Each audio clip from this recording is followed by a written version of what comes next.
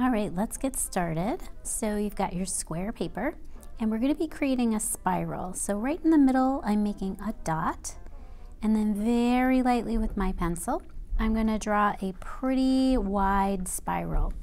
Make sure it's not too tight. You want it pretty loose.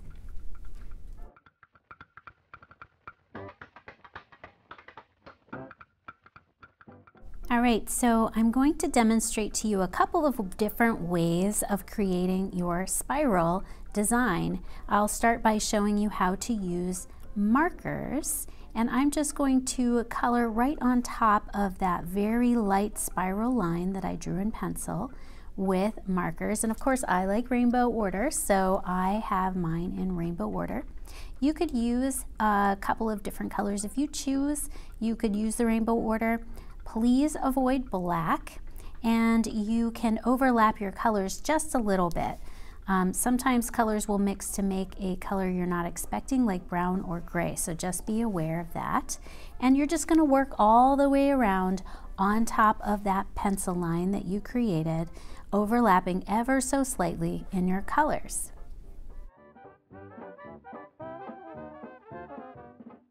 All right, now comes the fun part. You're going to use water and a paintbrush and you're going to use that to blend your markers to make them look like watercolors.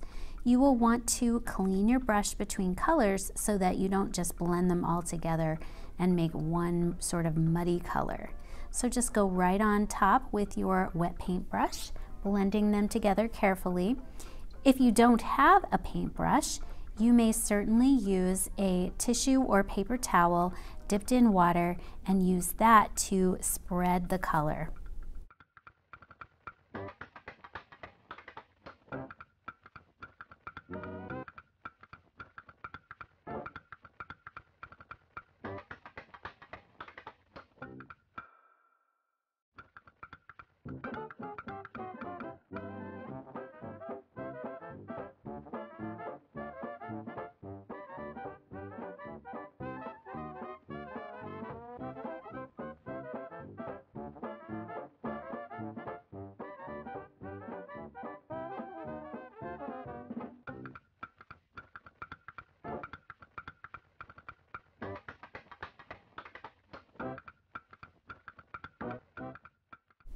Now, of course, you can use watercolors if you have them. So start with your dot in the middle and a loose spiral. Make sure it's not too tight.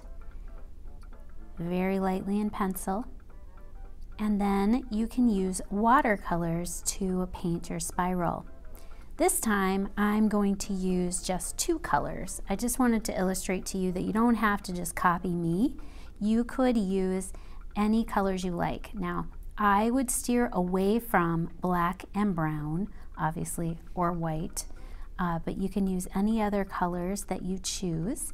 And I'm just using this magenta and this sort of sky blue in a pattern.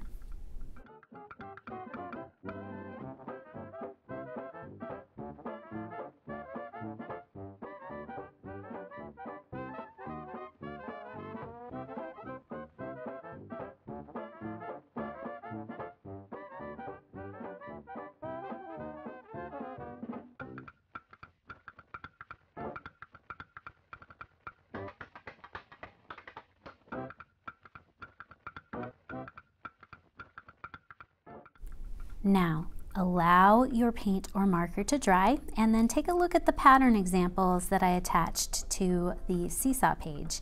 There are a couple of different uh, pages there for you to use for pattern ideas. Of course, you can come up with your own patterns if you can think of some. Now, you're going to want to use something to draw with, not just a regular pencil. You could use a black marker, regular marker, a black colored pencil, or a Sharpie. Now make sure your Sharpie has a skinny end. I'm going to use the regular markers to create my patterns on top of the spiral. So I'm going to use this pattern example sheet as sort of inspiration And for each color of the spiral, I will create a pattern inside that color. Now, if you want to, you can draw in pencil first and then trace with your marker or colored pencil if you choose, since it's hard to erase marker.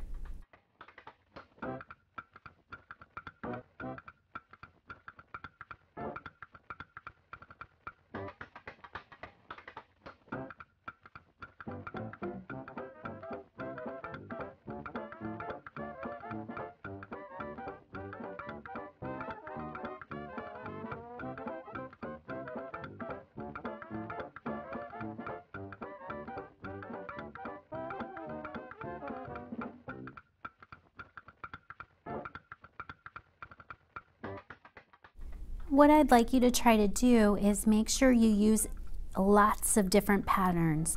Don't just do one type of pattern for your entire spiral. Try to change it up each time. It's okay to repeat it maybe once more, but try not to do it more than twice in your pattern.